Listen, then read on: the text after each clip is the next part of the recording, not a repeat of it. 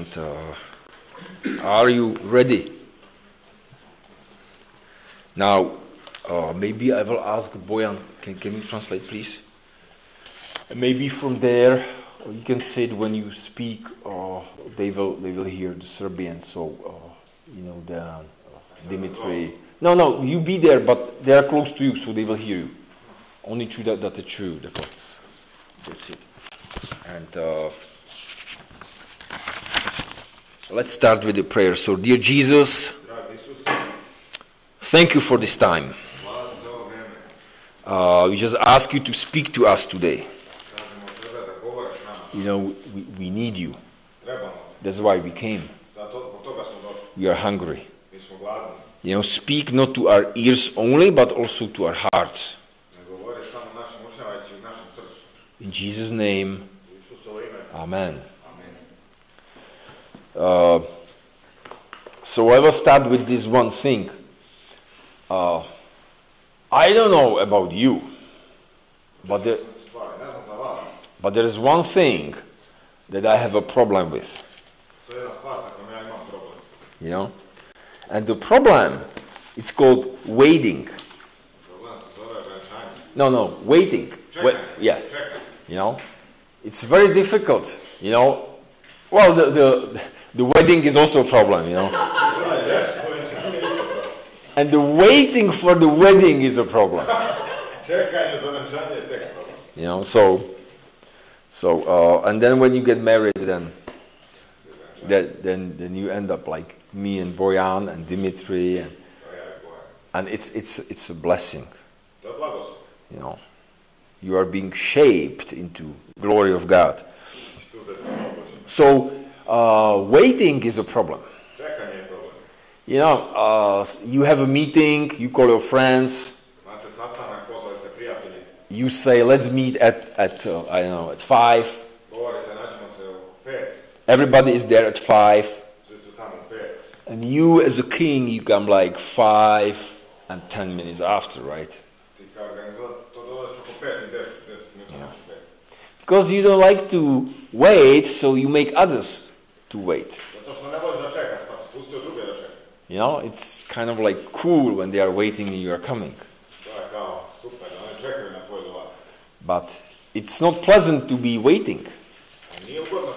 You know, you looking watch, the bus is not coming,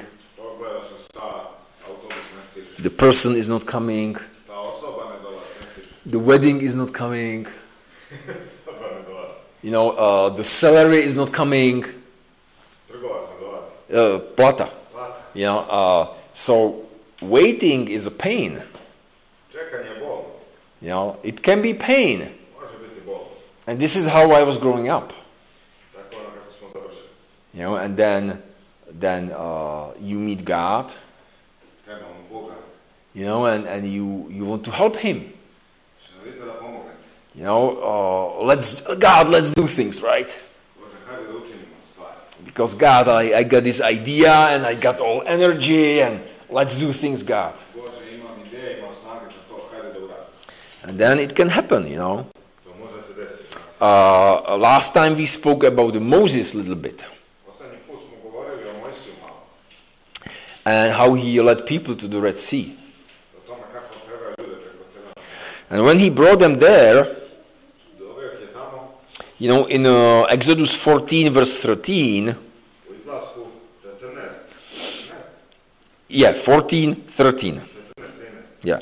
Moses said unto the people, Fear not, stand still, and see the salvation of the Lord, which I will show you today.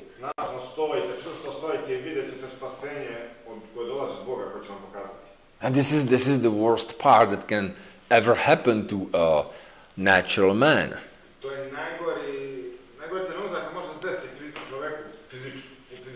You know, you are standing in front of the Red Sea, you cannot go forward.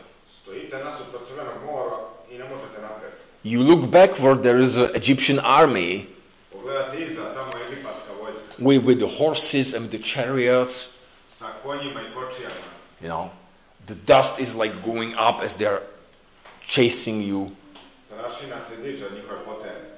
Like, God, we have to do something.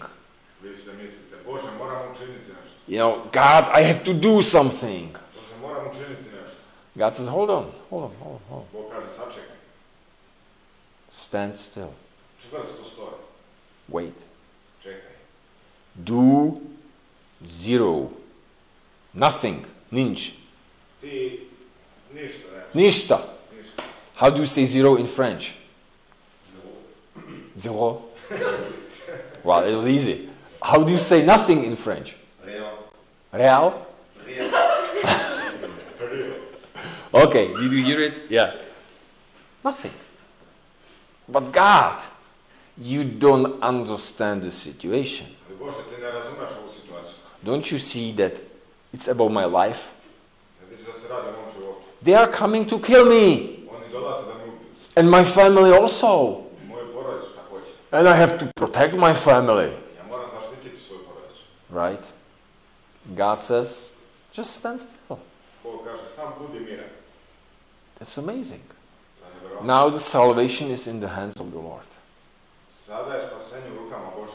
You do nothing, you just watch. Ti ništa ne radi, samo gledaj. Now you have to trust God, He will do something. Well, but what if God doesn't do something? Da, ali šta ako Bog ne uradi? Maybe we should we should dig some holes in the ground, put the stones, Da li bi treba se ukopamo u zemlju, postavimo neko get some weapons, you know. nabavimo neko oružje. In a case God doesn't work, then we can protect ourselves, right? U slučaju da Bog ne deluje, da možemo se zaštiti. Yeah. And God says, no, just wait. A Bog kaže, ne, samo čekaj. What? Wait? Me? Who never waited for anybody? And everybody was waiting for him. God, you you don't know the feeling when everybody's waiting and I'm coming there. And now I should be waiting. It's very humbling. And it speaks about one thing it speaks about trust in God. Stand still. Maybe you've seen this video from a, a class of uh, uh, physics. You know, there's a string and there's a big heavy ball.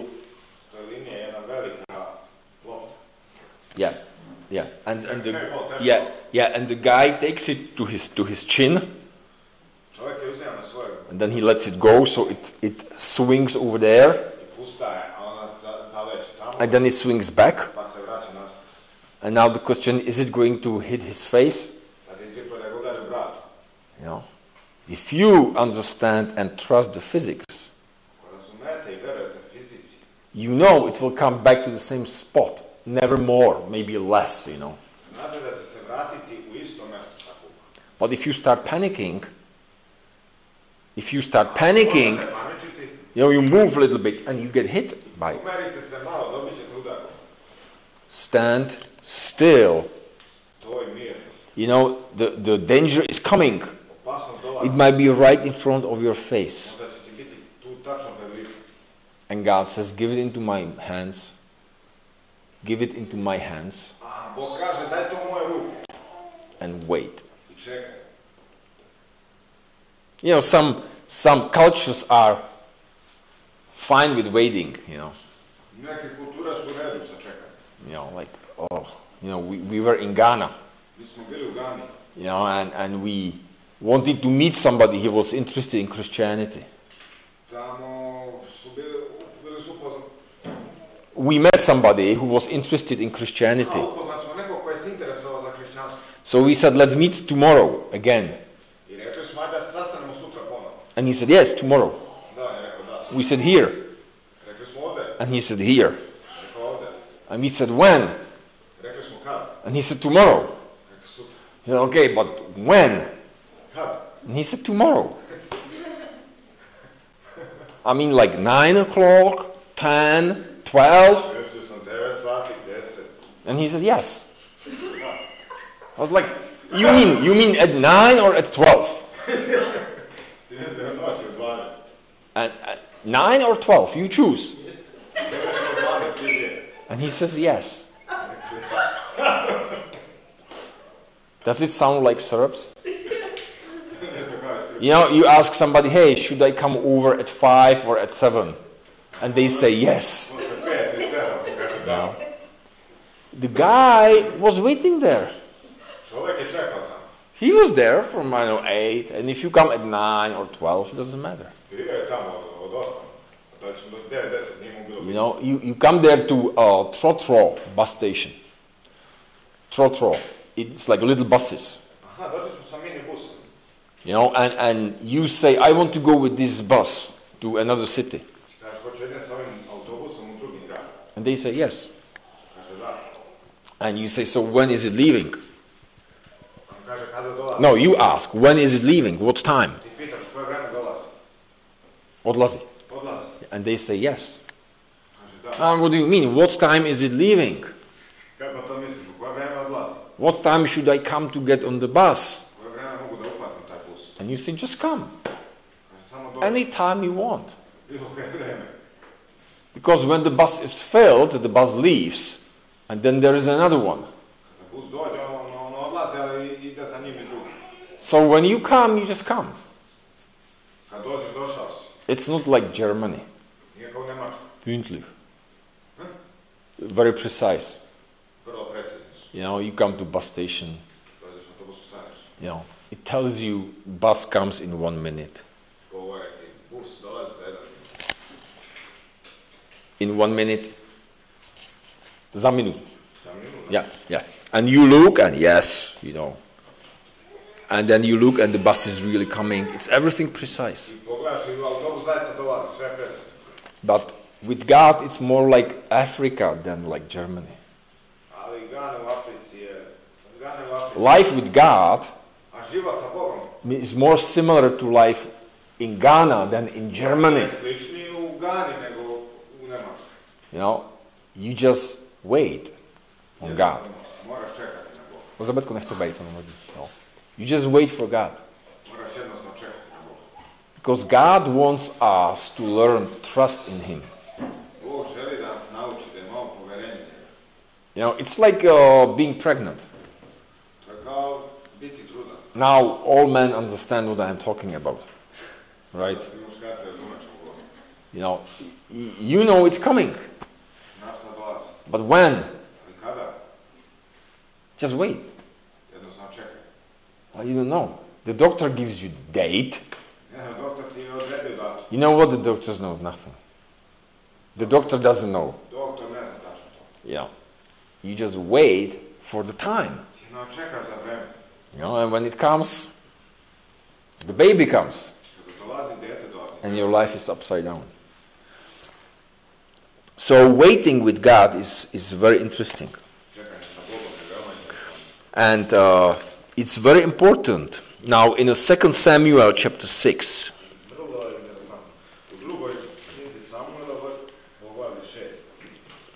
and je here is a story of an ark of covenant. And the ark of covenant is representing the presence of God.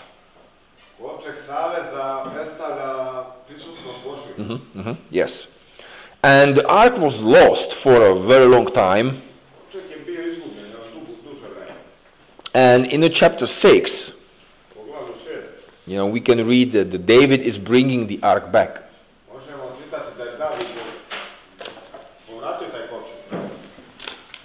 And uh, here we can read it.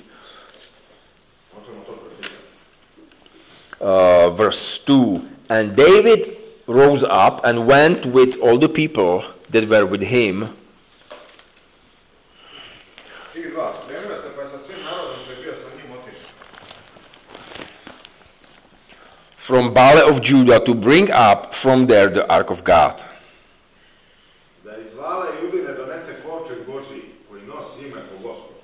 Whose name is called by the name of the Lord of hosts that dwells between the cherubims.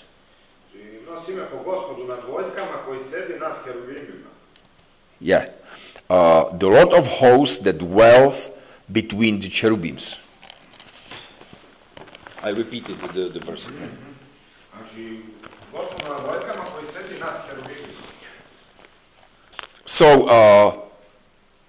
how is the ark called? Kako je taj kočeg nazvan? You know, it's called by the God Nazvan je po gospodu, who is dwelling between the cherubims. koji sedi nad herubinima. Uh-huh. If you've ever studied the Ark of Covenant, it has two cherubims. Ako ste malo proučavali, čitali više o kočegu saveza, znate da je natkriven sa herubinima. And what's between the two cherubims? What's there? Do you remember? There's a blood. The blood of animals, the blood of the lamb. That's, that's uh, the sacrifice. And that's where God dwells. Uh, sedi. If we want to meet God, if we, yeah, we have to come to the temple through the priest.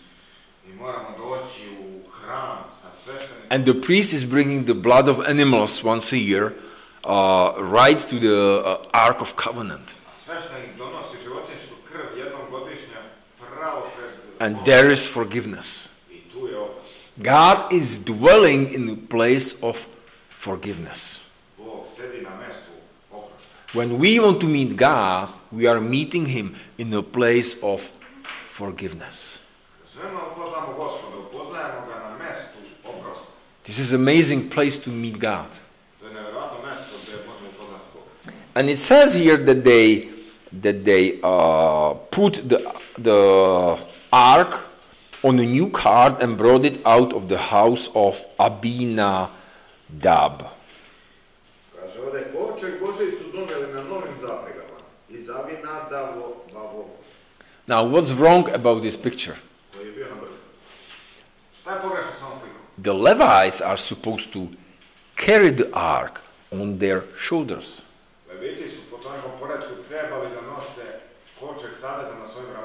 Here, David is bringing the ark on cart. You know, I know his heart. I know he was excited. I know he wanted to do things for God. Znam da je htio da učini neke stvari sa Gospodom. There is the ark. Let's move it back to Jerusalem, the presence of God. Tu je kovčeg, vratimo ga nazad u Jerusalim, u Božje prisustvo. You know, the, the Levites and waiting for them, and they carry it on the shoulders. And uh, I don't want to wait. Ne možemo čekati na Levite da, ih prene, da ga prenesu na svojim ramenima, ne mogu čekati. Let's put the ark on the cart and let's bring it to Jerusalem. Stavimo kovčeg na zaprege i prevezimo ga u Jerusalim. You know, many times we want to do things with our own idea, Mnogo puta želimo da učimo neke stvari svo, svojim sobstvenim idejama. and we don't understand that God, God has His ways and His timing. I ne razumemo da Bog ima svoje, svoja ta neka vremena So what happened here? So they drove the cart. They were pulling the cart with the ark. Znači, stavili su, stavili su taj kovčeg na zaprege. Yeah. Uh, verse 5 And David and all the house of Israel played before the Lord. Tih pet, David i sad dom Izraela se veselio pred, pred Gospodom. And it says in verse 6 And when they came to Nachon's threshing floor, Uzzah put forth his hand to the ark of God and took hold of it, for the oxen shook it. Kaže u stihu šest. Kad su došli do Nahanovog bumna, Uza pruži ruku i prihvati Božiji, jer su volovi nagnuli u stranu. Now the oxen are pulling the cart. The oxen are pulling the cart. Znate se oksi. Uh, uh, volovi. Yeah. Aha, tada, znači volovi su vukli taj kovčeg You know, and the cart is like sliding, or the, the oxen were falling. i kola su se nagla bila. You know, and the, and the ark is falling. So natural man now wants to help God. Sada taj telesan čovjek ima potreba pomogne Bogu. Oh, the presence of God is falling. O, prisustvo Božije pada. You know, let's help with our hand. Let's help God with our hand. Moći ću Bogu svom ruku. And he touches the ark I dodiruje kovčeg. and he dies. This is what happens when we try to help God in our own strength. When we are not really waiting for the ways of God. There's, there's another one who was not able to wait for God. The father of our faith, Abraham. Abraham. You know, God told him, You will have a son. With Sarah. Well, he didn't want to wait and wait and wait, so he had a son with Hagar. Hagar. And we know the result. It's a fruit of the flesh, not the fruit of the Holy Spirit.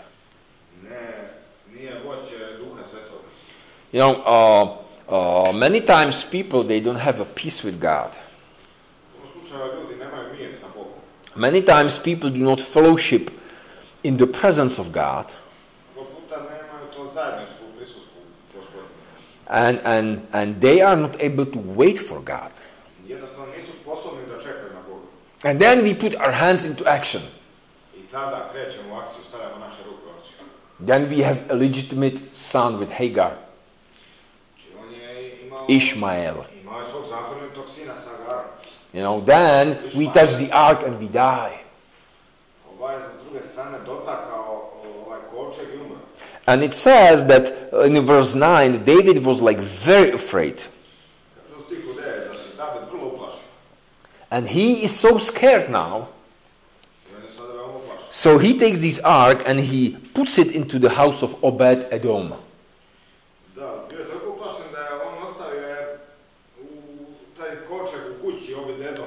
You know, there is some house. Kući. Let's put it there. Hello, this is King David. You know, we just brought this ark into your house. You keep it. And maybe, you know, rather don't touch it because we had this accident. So just let you know.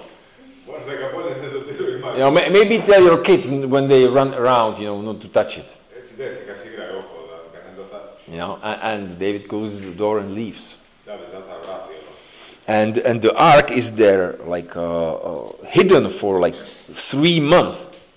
Kovčeg je tamo skriven, tako oko tri mjeseca. And Obed Edom is blessed by the presence of God. Ovi djedom, dom je blagosloven prisustvom Božim. And his kids are running around the ark and they are blessed. Djeca njegova trče sa kovčega, blagosloven su. You know, and, and he is so blessed. On je veoma blagosloven. You know, the presence of God in our house Prisustvo gospodnje na, is a blessing. And nobody dies. People die when they are carnal. Ljudi umiru kada su telesni. The carnal man is dying. Telesni čovjek umire. But the presence of God itself is a blessing. You know, I can imagine they have it in, in the house, you know, and they sit around the table and they eat some soup, looking at the ark, you know, you know, it's there. And then one of the kids says, Mommy, can I tonight sleep between two cherubims? You know, mommy says, No, you were sleeping there last night. Now your younger daughter will sleep there. Ne, mama kaže, ti si spavao sinoć, sada će tvoja mlađa You know, I, I think they had an amazing time with the ark. They were not afraid of it. Mislim da su imali nevjerovatno iskustvo lepo sa... You know why I believe it? Znate zašto to verujem? Because uh, there was another one who was sleeping by the ark of God. Postoji još jedan je spavao pored, Uh, uh, ark of God. You remember uh, there was a uh, there was a little Samuel. Yeah, he was given uh, to the priest, and it says there that he was sleeping where the ark was, in the presence of God. You know, God wants people to be in His presence. You know, that's why the veil was ripped apart, and now we have an entrance into the presence of God. To je ona situacija gdje se zavesa u hramu razdvojila na pola i dobili smo prolaz u prisustvu Božjem. You know, they were living in this already in the Old Testament because they were understanding the heart of God. Moment gdje se izlazi stari zavet, gdje se shvata srce Bože. And uh, uh, Obed Edom is blessed, and David is like, wow, man, maybe we should bring the ark back again. Opet dedamo u dom je blagosloven David si misli, a možda bi mogli da, to, da ga donesemo ipak hoće kod nas to. So, uh, verse 12 uh, So David went and brought up the ark of God from the house of Obed Edom into the city of David with gladness. U stihu 12 kaže Tada je David otišao i doneo počet Božiji iz kuće ovih dedova u David, u Davidov grad sa veseljem. Yeah, and there was like a, a big celebration, big shouting, Bila velika proslava you know, because of the presence of God. zbog prisustva Božijeg. You know, when, when God comes into your house, Kad Gospod dođe u tvoju kuću, there is rejoicing. When the forgiveness comes into your house, Kad oproštaj dođe u tvoju kuću, there is rejoicing. When you know that you are forgiven, Znaš da ti je oprošten, there is, forgi- uh, there is rejoicing. Tu je radost. You know, when, when you forgive to somebody, Kad ti oprostiš nekome drugom, there is rejoicing. tu je radost. You know, like, it's gone, it's okay, Prošlo je sve u redu. let's rejoice. Hajde da se radujemo. You know, Wilbert, I forgive you. You see, he's rejoicing now. You know? And he knows what I'm talking about, you know? on zna čemu You know? He owes me 100 euros. You know? No, I'm joking, I'm joking. So, the forgiveness and the presence of God is a blessing. Oproštaj, prisustvo Božije je blagost. And then in verse 23, Onda u stihu 23. you know, uh, when you read the passage, you read that uh, Michal, the daughter of Saul, didn't like it, so she had uh, no child unto the day of her death. Vidimo se Mihajlije čeka Saulo i to nije sviđao ta igra veselje i to. I nije, ona nije imala dece do dana svoje smrti. She didn't like the joy of the presence of God. Se nije sviđala to veselje, čast u prisustvu Božije. And we said it speaks about forgiveness Mi smo rekli da se tu govori o oproštu. because God is meeting people from between two cherubims. Bog okuplja ljude između dva heruvima. You know, some people don't like forgiveness. Ti ljudi ne vole oproštu. The Pharisees, Fariseji, na primjer. they were so angry when Jesus forgave sins to somebody. Oni su bili tako besni kada je Isus nekome oprostio grehu. You know, some people don't like it when, when you are forgiven Neki ljudi ne vole kada je tebi oprošteno. because you don't deserve it. To što ti to ne zaslužuješ. You know, and it says here she didn't like it. Kaže ovdje, nije, nije joj se to svidjelo. And she was childless. Bila je nerodna. You know, it means a curse in the Old Testament. Bila je prokleta. To je, ima And, and basically, she had no fruit of her womb. You know, Christians who are carnal, telesni. uh-huh, they want to help God and, and they touch it and they die. Christians who do not like forgiveness, you know, or people who rejoice from forgiveness, ili ljudi koji se raduju oprost, they will have no fruit in their life. nemaju plodova u svom životu.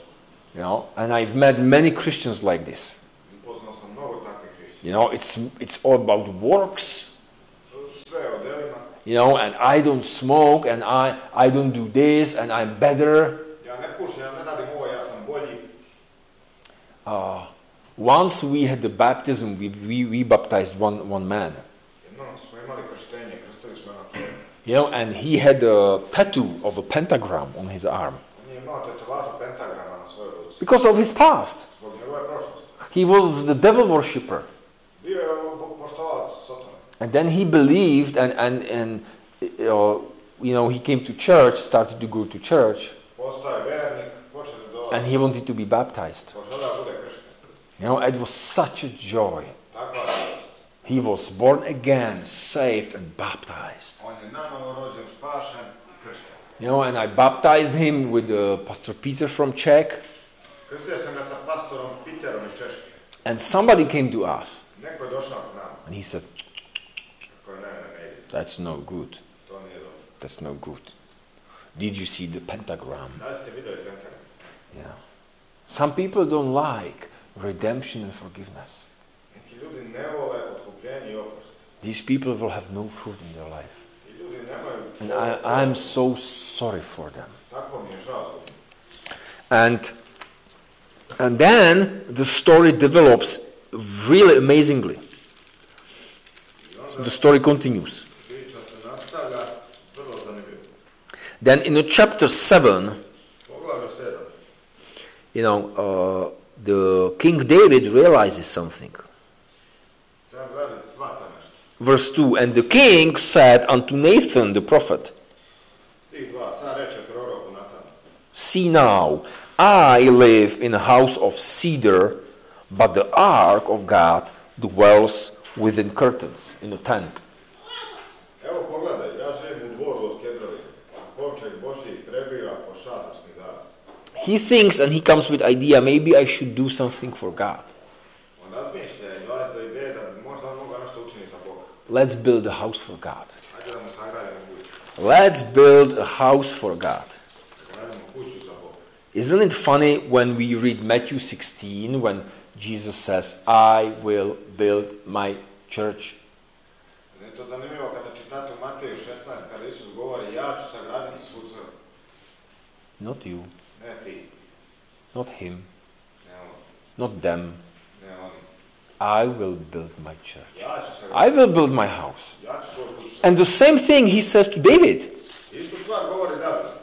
You know, uh, he says uh, in, the, in verse 5 Shall you build me a house that I may dwell in? Zar ćeš mi ti sagraditi dom da prebivam u njemu? You know, and then, then in verse 11, the prophet comes to David and he says, Also the Lord tells you that he will make you a house.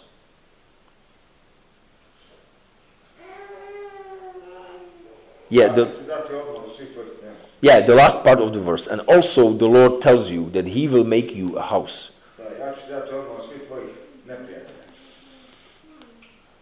Uh, second, 11. Yeah, cause the rest from your enemies, and also the Lord tells you that he will make you a house. Gospod ti obja- objavljuje, Gospod će ti sazidati dom. Yeah. It's a God who builds the house. Bog je taj koji gradi kuću. And then we can, we can read in, in the New Testament, 1 Corinthians 6. I onda možemo pročitati u Novom Zavetu, You don't have to turn there. prva Korinčanima 6. You know, uh, it says that we are the temple of God. Da smo mi taj hram Boži. Now, when you are connecting the dots, you see that God is building his temple. God is building his church. And how is he doing it? From inside, from the heart. And, and uh, the story goes when they were building the temple, you know, in the first uh, Kings chapter 6, prva carima 6. because God says to David, uh, the, your son Solomon will bring it to happen that I build a house. To. And uh, 1 Kings 6, verse 7 And when the house of the Lord was built, uh, it was built of a stone made ready before it was brought inside, so that there was neither hammer nor axe nor any tool of iron heard in the house while it was in building. Prva carima 6, 7. Dok se dom zidao, gradili su ga kamenom koji je već bio obrađen u kamenolomu. Pa se u domu nije čuo ni čekić, ni sekira, ni tikako oruđe za vreme njegove izgradnje. And if you, if you look at the archaeology, Pogledajte u arheologiju. the temple was built in the Mount Moriah. Hram je bio izgrađen na brdu Morija. That's where Jesus was crucified. To je mjesto gdje Isus bio. The Mount Moriah, where Abraham sacrificed his son and where the lamb was sacrificed. Mjesto Morija gdje je Ab- Abram pri- prinosio svog Isaka, sina Isaka na žrtvu. Yeah, and where the lamb was sacrificed instead. I gdje jagnje umjesto njega bilo žrtvo. It's all the same place. And, and archaeology says that inside the mountain, you can go to Jerusalem and see it there. You know, uh, there, is a, there is a place when they are cutting the stones. You know, they were digging the stones and cutting them inside the mountain.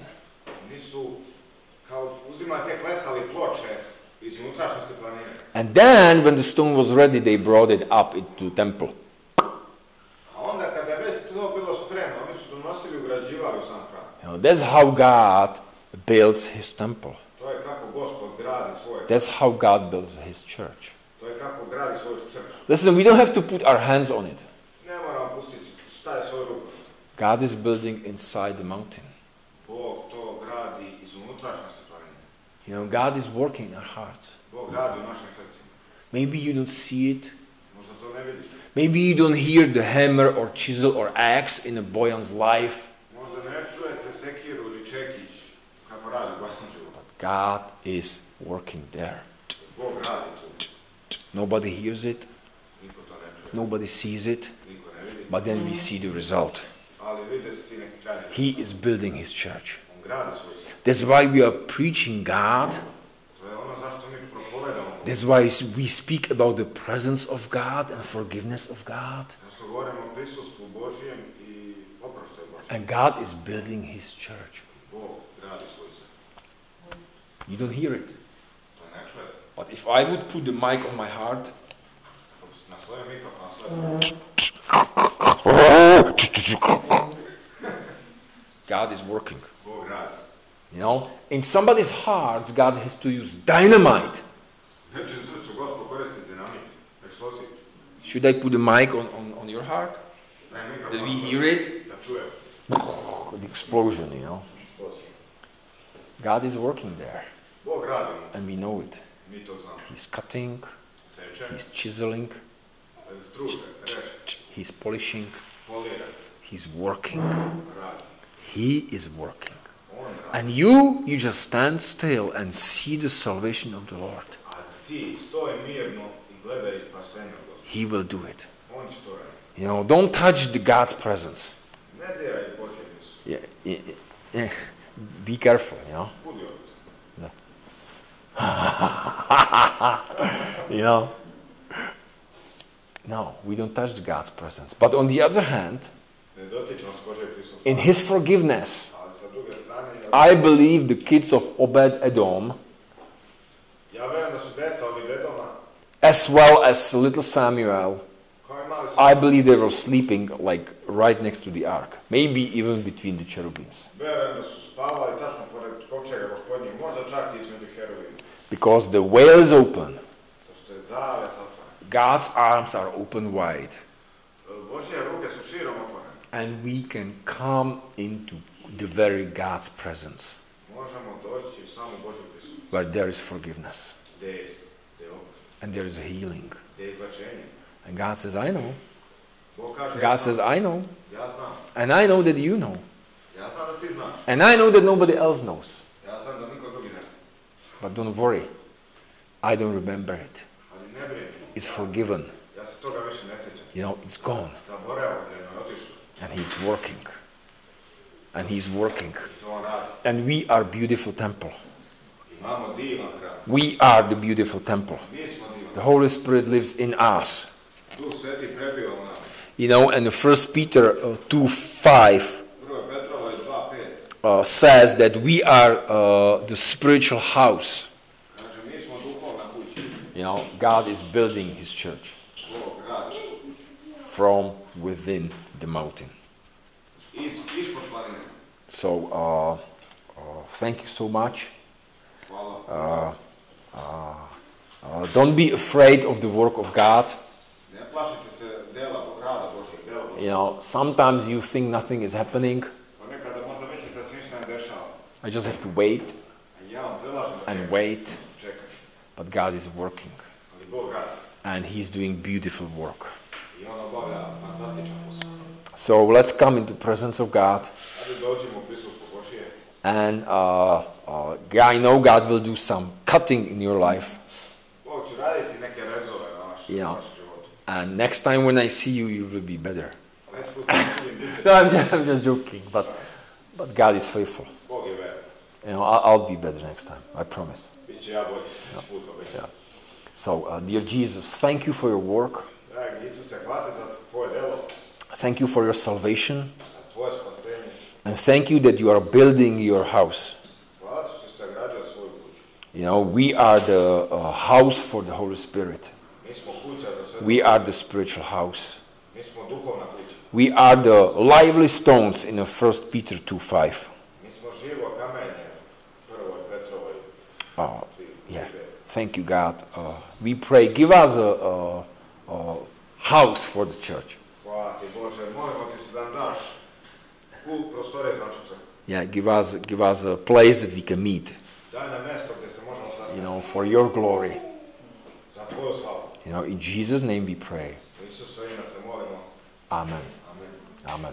Thank you very much. And uh, uh, we have a, we have a, uh, there is a box in the end.